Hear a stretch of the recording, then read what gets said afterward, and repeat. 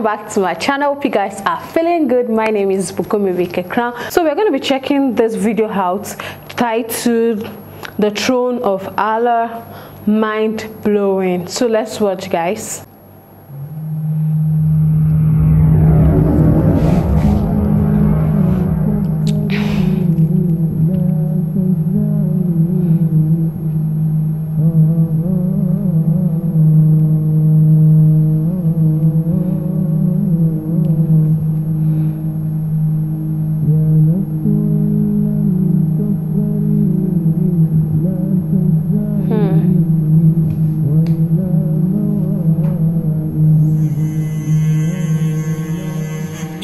يا نفس إن لم تظفري لا تدعي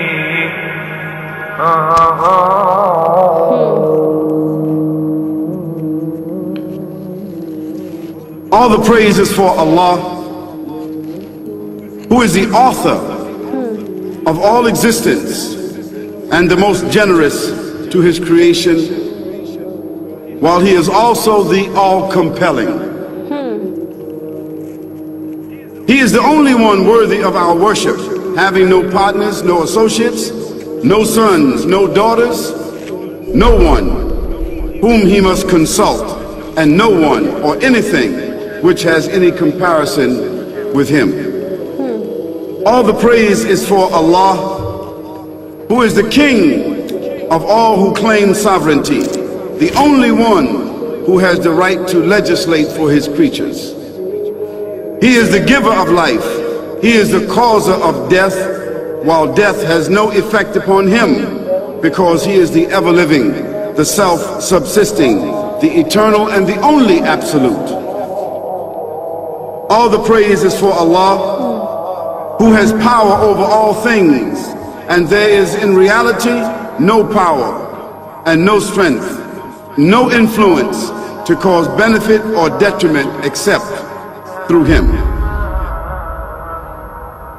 It is he who created this complex world, the seen and the unseen, the evident and the speculative, the earth and all that is on it, and everything that is in it. wow It is he who sent his messengers and prophets, alayhimus salam, with the common message of strict monotheism, which simply means that there's absolutely no one worthy of worship, no one worthy of our obedience except the Almighty, the One, the Absolute, and who has no partners. The earlier messages which changed the world in the area in which the prophets were sent, those messages we know have changed. And even the prophets who brought them, their names are now lost. We just know in general because Allah told us in the Quran, وَلَقَدْ بَعَثْنَا فِي كُلِّ أُمَّةٍ رَسُولًا أَنْ يَعْبُدُوا اللَّهَ وَاجْتَنِبُوا الطَّاغُوتِ I've sent to every nation a messenger calling people to worship Allah alone and to avoid the worship of false gods. This essential message has been preserved in Islam in a way that it was never preserved before. Not because the message was different, because it was the same message, but because of the fact that there would be no other prophets who would come after Muhammad. So therefore that message now had to be protected. It had to be preserved in a way none of the earlier messages were preserved. I'm. What you say you have come to know 40 years back and what you call the Big Bang is already mentioned in the book which I read, the glorious Quran. It's mentioned 1400 years ago in Surah Anbiya, chapter number 21, verse number 30, which says, lazina kafaru. Do not the unbelievers see anna samawati wal arda ratkan fataqnahuma that the heaven and the earth were joined together and we clove them asunder. What you're talking about the Big Bang, I try and imagine compressing a spring. I push it closer and closer and closer together so it's smaller and smaller and smaller. And I've stored a tremendous amount of energy in that spring. And when I let it go, it bursts out, it bursts out, it bursts out. the creation of the universe, which you came to know 40 years back, is already mentioned in this book, the glorious Quran, 1400 years ago. Who could have mentioned that in the Quran? So the atheists will say, maybe someone wrote, maybe it's a fluke, maybe it's a guesswork, A human being, regardless of who they are, or where they are, or what they do, will have this curiosity. They'll want to know, why am I here? How did I get here? And do I have a purpose? And if so, what is it? The only one who would really be able to answer that question would be the Creator Himself.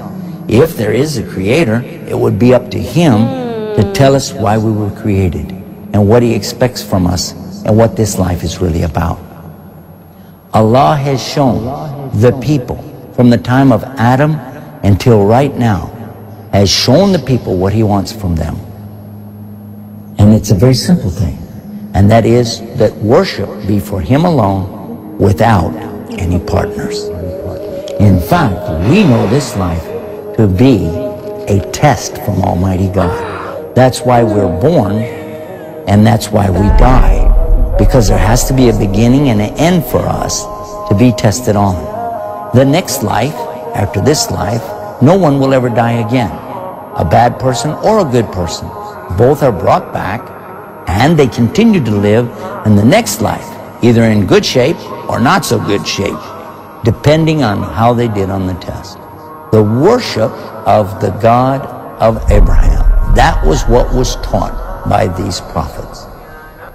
The Lord of the Arsh and Kursi. We're talking about the Lord of the worlds. Alhamdulillah Rabbil Alameen. We're talking about the Lord of the entire universe and beyond. The entire universe and beyond. You know, we live in this dunya.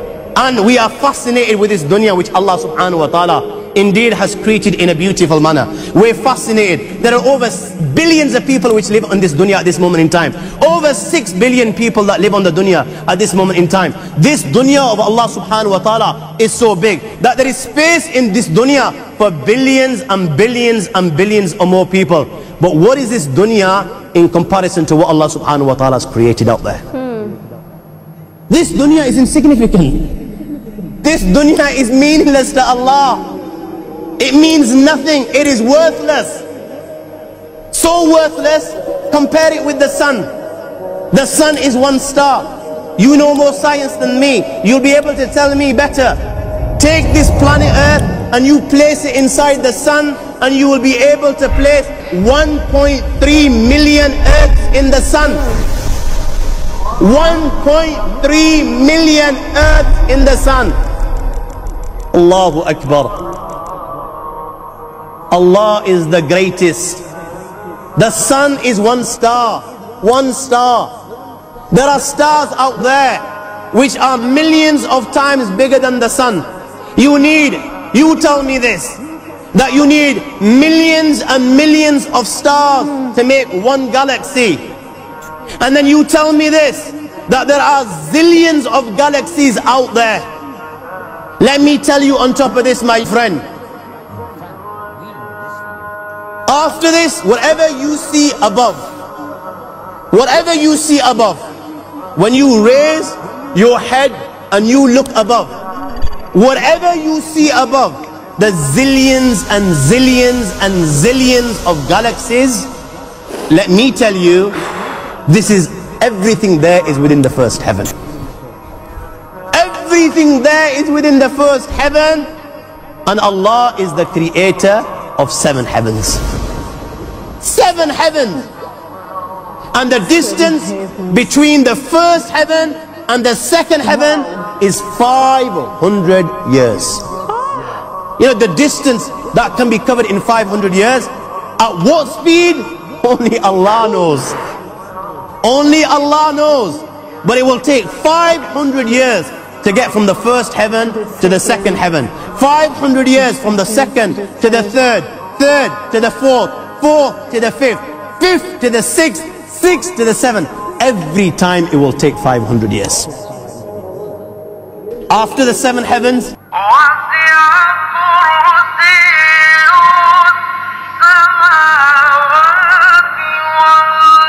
وَسِعَ كُرْسِيُّهُ السَّمَاوَاتِ وَالْأَرْضِ You all read the Ayatul Kursi. You all know the Ayatul Kursi. After this, you have the Kursi of Allah. You have the chair of Allah subhanahu wa ta'ala. You know these seven heavens that we've just talked about.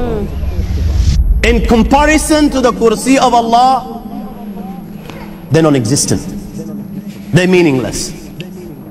Rasulullah has given an example in a hadith just to give us a little bit of understanding with regards to the seven heavens in comparison to the kursi of Allah. Hmm. Take a ring from your finger, take it off, the small ring that you have, and place it, let's say, in a desert, the Sahara Desert. It's the biggest desert in the world. You know that ring that we take off from our fingers and place it in the Sahara Desert? What, what comparison is in between the ring and the Sahara Desert? Hmm. Nothing. Hmm. Nothing. The seven heavens is the ring, and the kursi of Allah is the Sahara Desert. Hmm. After the kursi of Allah, you have the arsh of Allah. وَكَانَ أَرْشُ عَلَى الْمَاءِ You have the arsh of Allah. Again, Rasulullah has given, has explained, so just so that we can understand. Take the ring, place it in the desert. This time, the ring is the kursi and the arsh is the desert. What is the kursi in comparison to the arsh of Allah? Nothing. Then you have angels which carry the arsh of Allah. Their heads are in the seventh heaven and their feet are in the lowest earth. My friends, then you have the Lord of the earth and kursi. لا تدركه الأبصار وهو يدرك الأبصار وهو اللطيف الخبير He is beyond the size of Allah who Allah is what Allah is the greatness of Allah is beyond the comprehension of my little mind. This is the being that you and I are messing with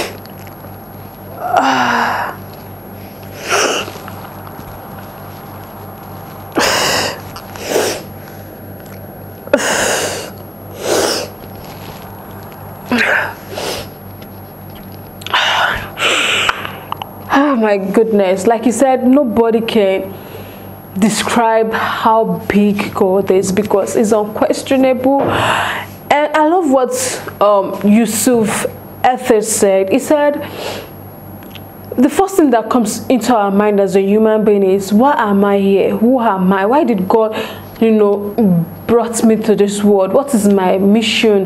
What is what's my destiny? What am i supposed to do? And it's only the creator that can answer that question. No matter how we try to you know phantom this we cannot still describe god because he is who he say he is. We can't describe allah because he's the greatest he's the mightiest he's a supreme being he's, he's somebody that nobody can question him. This is not the first time i'm actually watching this video but this is the first time i'm actually paying attention to the full details of this video and i was really moved. I was i'm really really moved. It's so powerful. Every scholar said a powerful thing and God is like what's actually even I, another thing I cannot even get over is the fact that there are seven heavens, and before you can connect to the next heaven, it take you 500 years. Nobody in this world, no human being can clock such age, and you know that's how mighty, how mighty, how powerful God is. Like, it's somebody that we cannot question. Like, is beyond words.